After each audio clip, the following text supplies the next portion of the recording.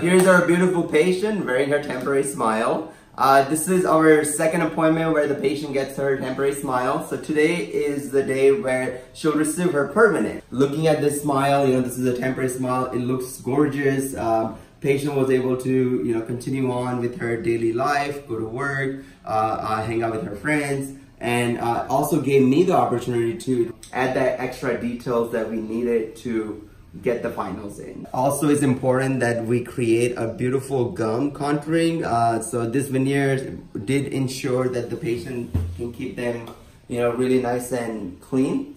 And today she gets her permanent. So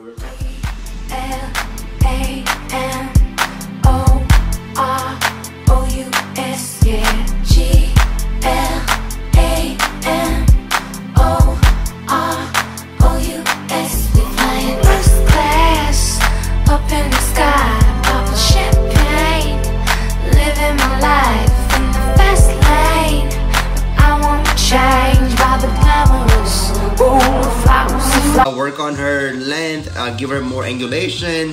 So here if you see how the canines are nice and sharp, the front two teeth are just perfectly symmetrical, almost like a mirror image, and it just goes along with her bottom lip line.